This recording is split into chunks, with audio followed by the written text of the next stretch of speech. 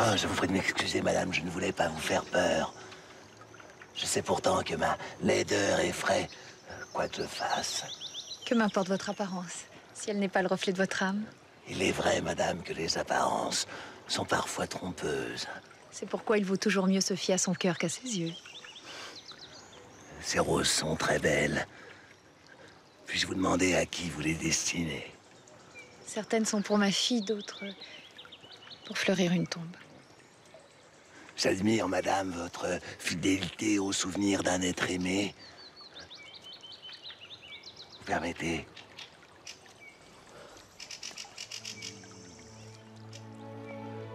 Son parfum me rappelle celui d'une rose rare que l'on ne trouve que sur l'île de Capri, au large de Naples.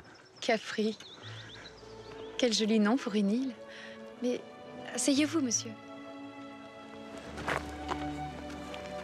Vous avez beaucoup voyagé? Un peu. L'Allemagne, l'Espagne, l'Écosse, la Hollande, l'Italie. Et qu'avez-vous préféré? Venise. Au moment du carnaval, chacun se déguise et porte un masque. Nul ne sait plus qui est qui et toutes les extravagances deviennent possibles. C'est là un jeu fort dangereux. Ah, c'est ce qui en fait tout le charme. Et ceux qui, comme moi, ont été disgraciés par la nature, peuvent se croire aimer le, le temps d'une nuit. Vous vous déguisez donc souvent, monsieur? Hélas. Je n'en ai nul besoin puisque nul ne me prête attention. Je vais, je viens, telle une ombre. Je n'ai pas eu comme vous, monsieur, la chance de voyager.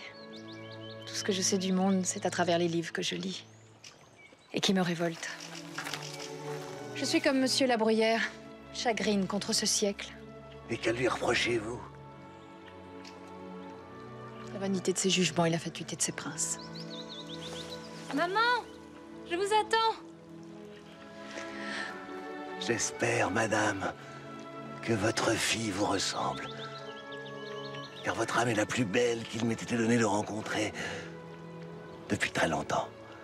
Merci, monsieur, pour cette conversation. Il y a si longtemps que je ne m'étais laissé aller à voyager.